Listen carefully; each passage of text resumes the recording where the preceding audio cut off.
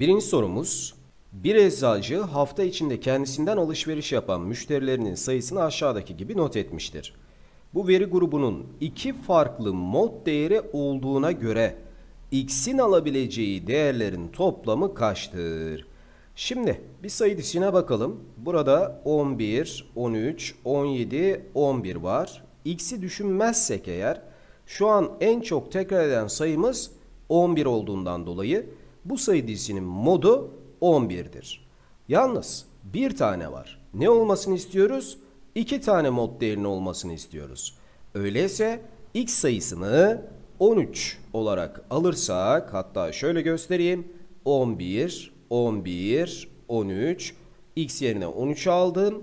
Bir de 17'ye. İşte bu durumda ne olacak? 11'den 2 tane, 13'ten de 2 tane gelecek. Yani bu sayı dizisinde en çok tekrar eden sayılar ikişer defa tekrar eden 11 ve 13 olacak. Yani bu sayı dizisinin modu 11 ve 13 olmak üzere 2 tane olacak. Öyleyse x'i 13 olarak alabiliriz. Aynı zamanda 13 değil de x'i 17 olarak alacak olursak bu durumda şöyle bir yazalım bakalım sayılarımızı. 11 2 tane, 13 1 tane olacak. X'i 17 aldığımızda 2 tane 17 gelecek. Ve dikkat edersek 11 ve 17'ler ikişer defa bu sayı dizisinde tekrarlanacak. Yani en çok tekrar eden sayılarımız 11 ve 17 olacak. Onun için bu sayı dizisinin modu 2 tane 11 ve 17 diyebileceğiz. Demek ki x'i 17'de alabiliriz. E bu durumda x'in alabileceği işte bu değerlerin toplamına bakacak olursak 13 artı 17'den cevabımız 30 yapacak. Yani E şıkkı. İkinci sorumuz. En kısa mum yeşil renk, renkil olandır. Özür diliyoruz. Renkli olandır olacak. En uzun mum sarı renkli olandır. Şekilde uzunlukları santimetre cinsinden verilen mumların uzunluklarının oluşturduğu veri grubunun açıklığı 11. Aritmetik ortalaması 6'dır.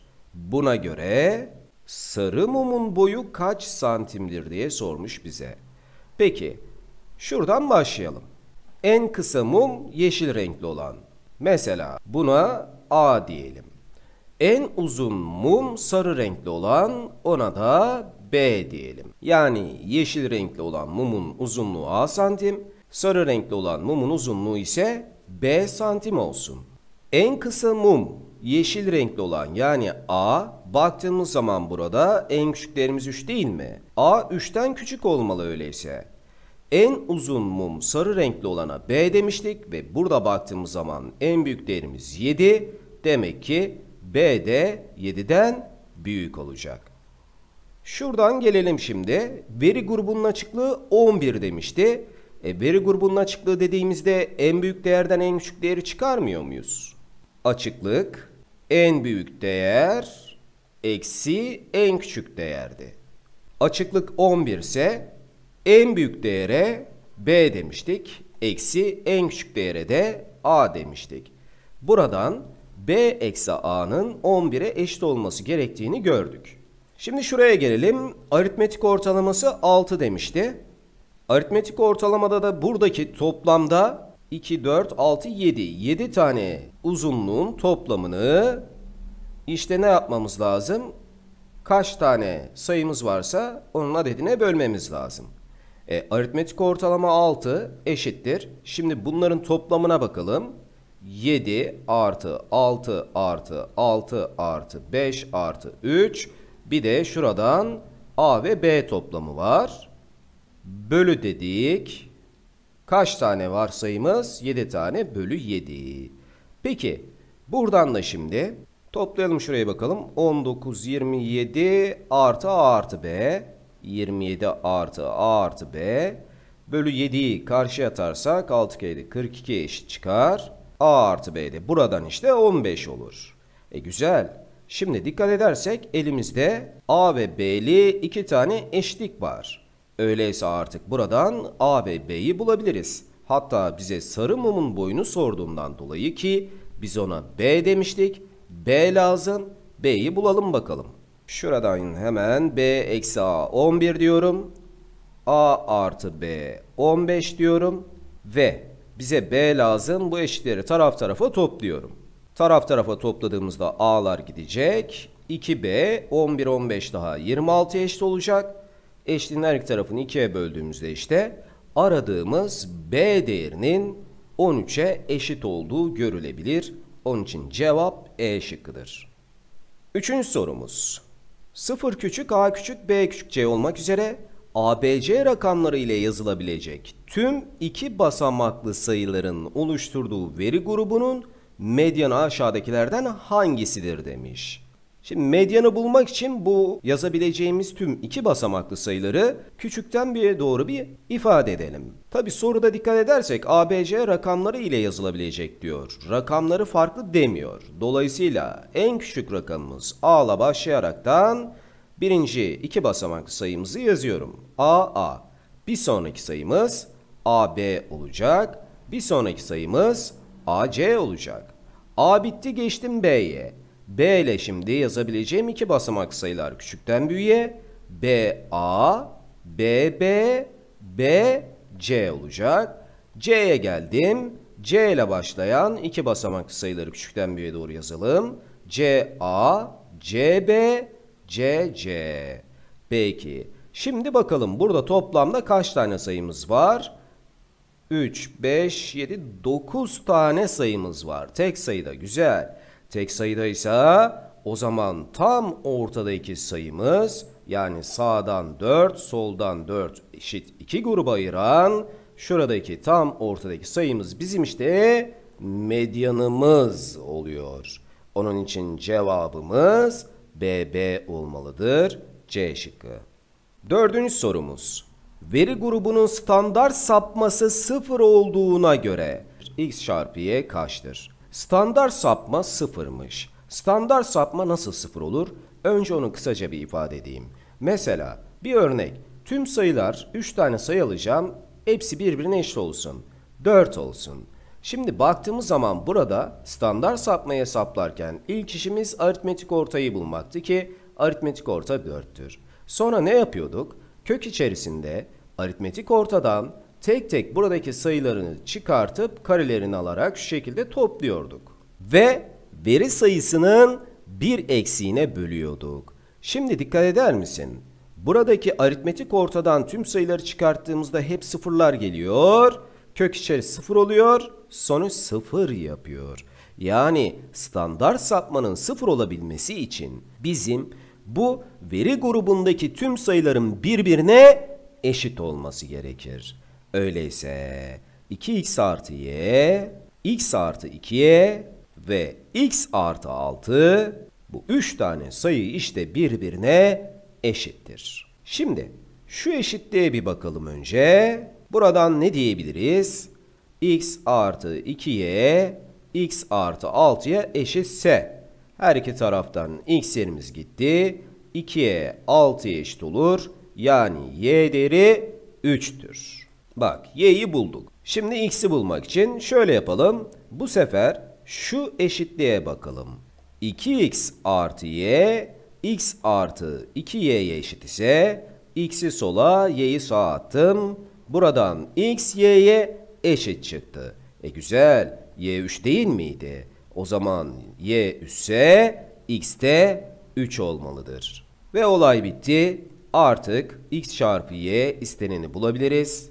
x 3, y de 3. 3 çarpı 3'ten x çarpı y işte 9 yapacaktır. Cevap D şıkkıdır. Beşinci sorumuz. Veri grubunun yalnızca bir tane modunun olabilmesi için x'in alabileceği farklı değerlerin toplamı kaçtır? Önce şuraya bir bakalım. 3'ten 3 tane var, 4'ten 3 tane var, 5'ten 3 tane var, 6'dan da 3 tane var. Şimdi burada eğer x'i düşünmezsek tüm sayılar üçer defa aynı sayıda tekrarladığından dolayı şu an bu sayı dizisinin bir modu yoktur. Modunun olabilmesi için 3, 4, 5 veya 6'ların herhangi bir tanesinin sayısının diğerlerinden fazla olması gerekir. Yani şunu demek istiyorum. Örneğin x 3 olsun.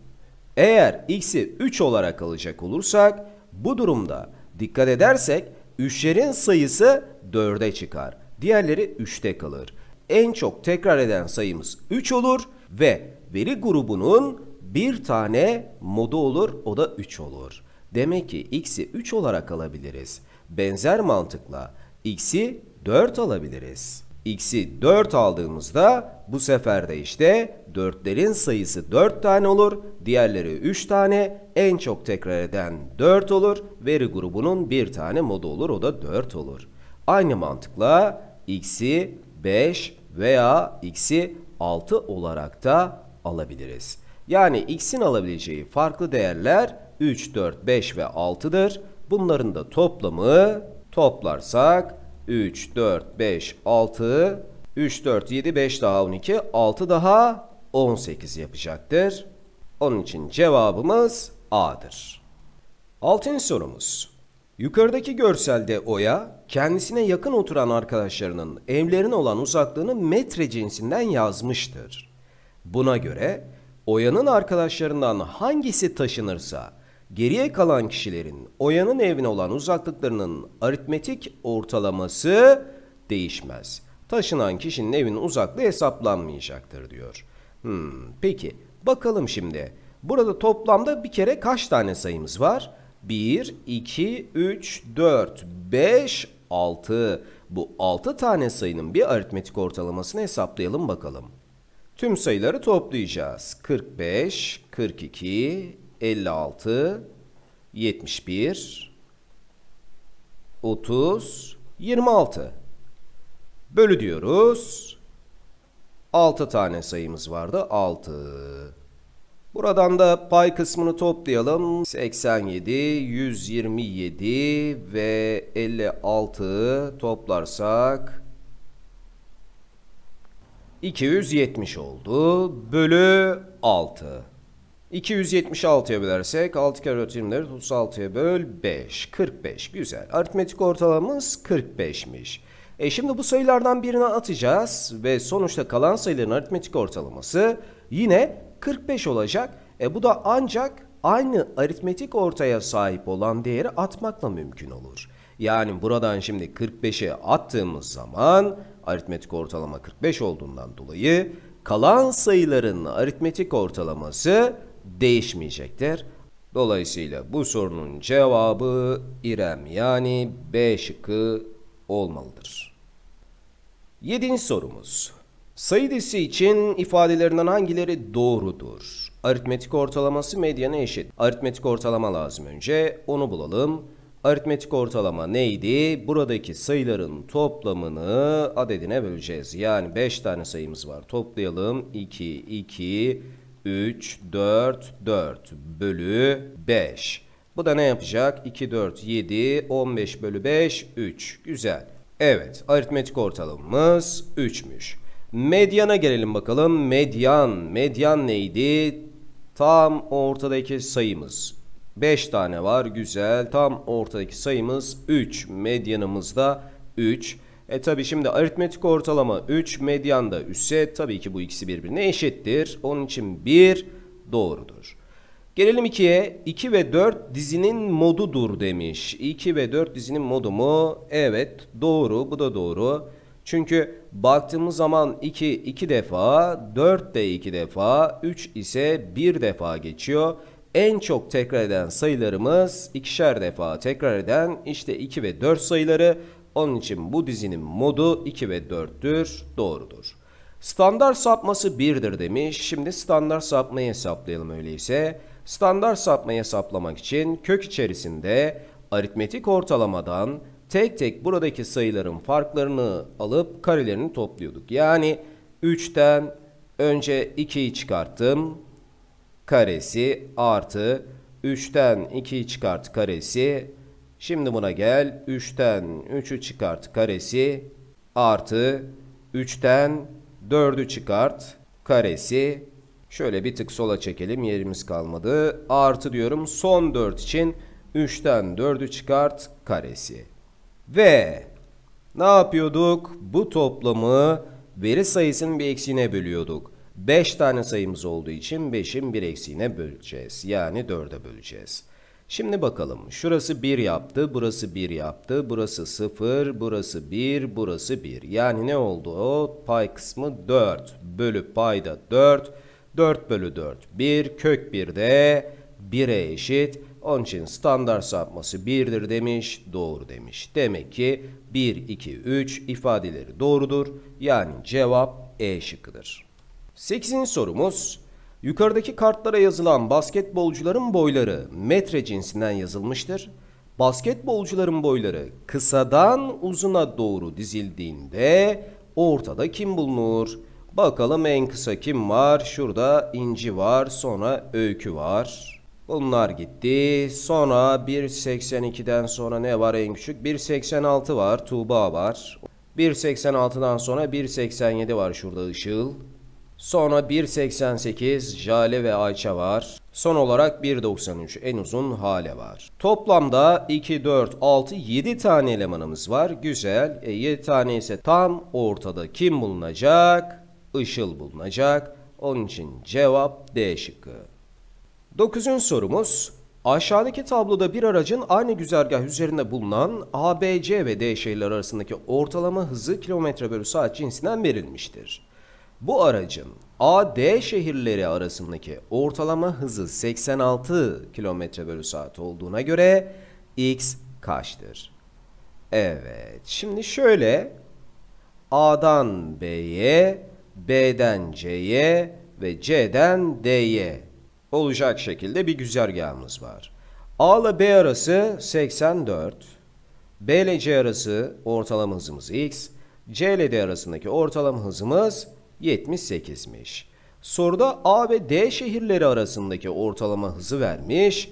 O zaman A'dan D'ye aritmetik ortalamaya bakarsak 84 artı X artı 78 bölü 3.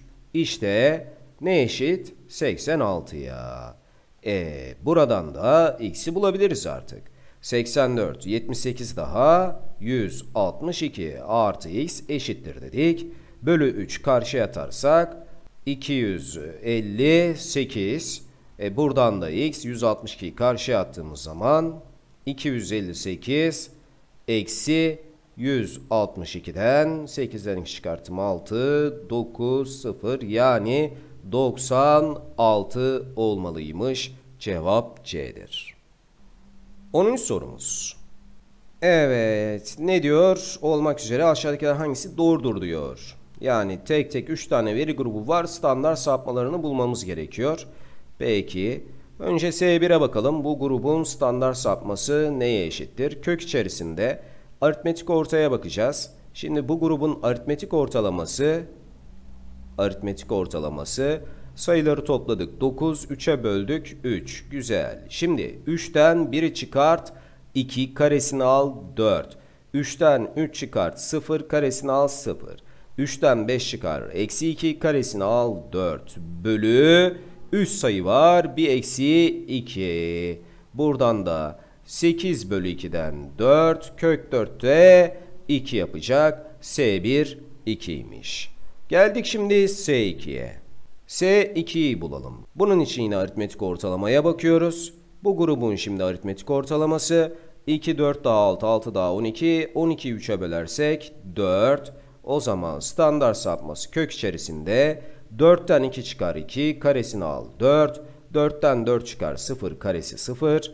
4'ten 6 çıkar eksi 2 karesini al 4. Bölü de kaç sayı var 3 tane bir eksiğine 2.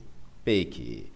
Buradan da 8 bölü 2'den 4 kök 4 yani o da 2'dir. S2 de 2'ye eşitmiş. Geldik S3'e. S3'e hesaplayalım bakalım. Önce yine burada aritmetik ortalamamızı bir hesaplayalım. 7, 8, 15, 9, 24 toplamı 3'e böl 24'ü 8. Aritmetik ortalamamız 8. Şimdi kök içerisinde 8'den 7'yi çıkar 1 karesi 1, 8'den 8'i çıkar 0 karesi 0. 8'den 9'u çıkar eksi 1 karesi 1 bölü de kaç sayı var 3 tane bir eksiği 2. Buradan da kök içerisinde 2 bölü 2'den 1 kök 1 yani 1 S3'tür. Buna göre baktığımızda S3 en küçüğü S1 ve S2 de birbirine eşit yani S3 küçük S1 eşit S2 diyebiliriz. Dolayısıyla hangi şıkta var bakalım. Evet B şıkkında var. Cevap B'dir. 11. sorumuz. Yukarıdaki veri grubunda x sayısı aşağıdakilerden hangisi olursa veri grubunun aritmetik ortalaması verilerden biri olamaz. Hmm, şimdi önce buradaki 6 tane sayıyı bir toplayalım bakalım. 2, 9, 5, x, 7 ve 4 bölü diyoruz. 6 sayımız var. Bölü 6. Bu aritmetik ortalama. Hatta biraz daha düzenleyerek gelelim. 2 artı 9 11, 5 daha 16, 20, 27, 27 artı x bölü 6. Aritmetik ortalama bu verilerden biri olacak değil mi? O zaman mesela 2 olursa 2 eşitlersek 27 artı x eşittir 12'den x eksi 15 olabilir. Şimdi bu aritmetik ortalama 9'a eşit olursa bu durumda 27 artı x 9 kere 6 54 eşit çıkar. x 27 olabilir. Peki şimdi aritmetik ortalama 5'e eşit olursa 27 artı x eşittir 30'dan. Buradan x 3'e eşit olabilir. Tamam o da var. Devam ediyoruz. 27 artı x bölü 6 yani aritmetik ortalama şimdi 7'ye eşit olursa 27 artı x 42'ye eşit. Buradan x 15'e eşit olabilir. Devam. Aritmetik ortalamamız 4'e eşit olursa 27 artı x eşittir 24'ten x eksi 3'e eşit olabilir. Bakınız o da var. Ne yok sadece 29 kaldı. Demek ki 29 olamaz diyoruz x'e. Tabi ben bu şekilde geldim tek tek. Şıklardan da gelebilirsiniz. Yani x eksi 15 alırsınız. Bakarsınız sonuç bu değerlerden biri mi? Biri ise cevap bu olamaz. Eksi 3 alırsın bu değerlerden biri mi? Şeklinde gidebilirsin. 12. sorumuz 200 metre koşusu için antrenman yapan kişilerin yaptıkları 3 antrenman turunun sürelerinin saniye türünden değeri aşağıdaki tabloda verilmiştir. Buna göre en istikrarlı atlet kimdir? Evet, daha önce de benzer bir soru çözmüştük, orada ifade etmiştik. İstikrarlı olanı arıyorsak standart sapması en küçük olanı bulmamız lazım ve standart sapmanın küçük olabilmesi için sayıların mümkün olduğunca birbirine yakın olması gerekiyor demiştik. O zaman şöyle bir bakacak olursak Can'da 9, 12, 13, Onur'da 8, 10, 12, Ekin'de 9, 9, 10. Bak burada sayılar birbirine çok yakın. Hatta şurada sadece bir fark var. Fuat'ta 9, 10, 11 ve Kaan'da 10, 11, 13. Evet buradan direkt cevap Ekin diyebilirsiniz. Çünkü baktığımız zaman işte 3 değer içerisinde birbirine çok yakın olan değerler Ekin'de var. Onun için en istikrarlı atlet Ekin'dir diyoruz. Evet bu soruyla birlikte bu testimizin de sonuna gelmiş olduk. Bir sonraki testimizde yani veri grafik konusuyla ilgili test 3'te görüşmek üzere.